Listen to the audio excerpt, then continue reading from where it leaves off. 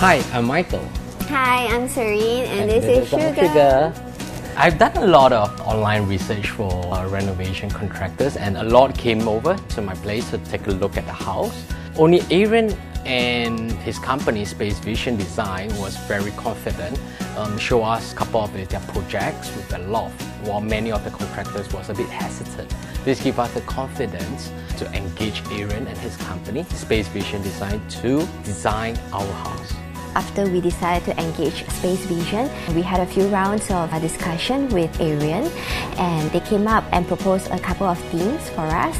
But I think eventually we decided to go ahead with the classical European design because I think that's really classy and timeless.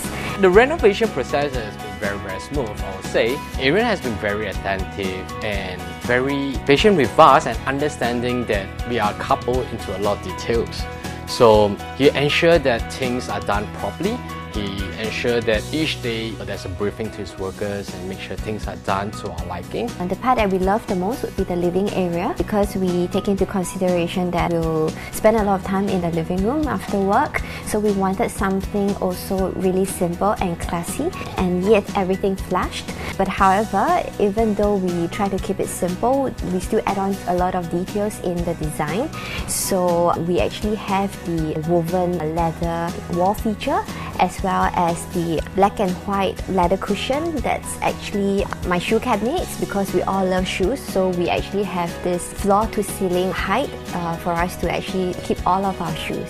We love our kitchen and even though we are not heavy cooks, we are tea lovers and one of the suggestions that Space Vision has suggested was a pull-out display cabinet for us to display our tea collection. We are very proud of our ensuite bathroom, which Aaron and his team did a good job in it. It comprises of the bathtub with the jacuzzi with the rainfall shower and also a large vanity.